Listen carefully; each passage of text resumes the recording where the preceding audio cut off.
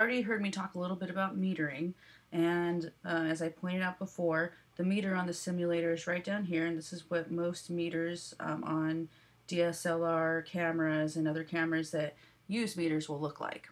And for the most part you're usually trying to stay right in the middle but there are definitely going to be times when you don't want to stay right in the middle.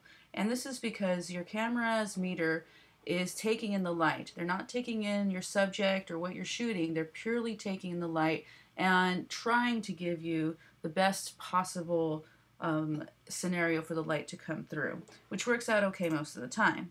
But there will be times when you have to compensate, which is called exposure compensation, in order to get a nice photo.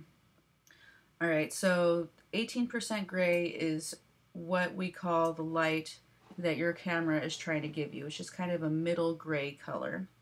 All right, but there's going to be times where you need to actually choose to overexpose or choose to underexpose your light.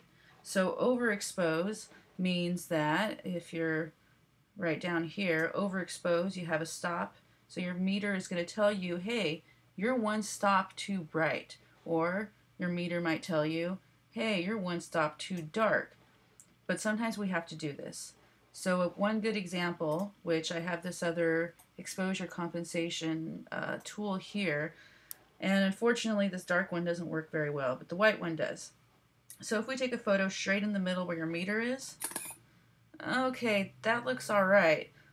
But in reality, this is white sand, and so we want it to look white. We don't want it to look gray. So instead, I'm going to take my exposure up, to one stop. So now I'm one stop overexposed. And when I take a photo, bam, I have nice white sand again. Woohoo!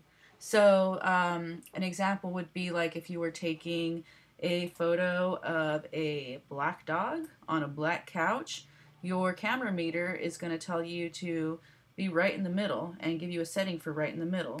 But in fact, you want that black to be nice and rich and black. So therefore, in that case, you would underexpose.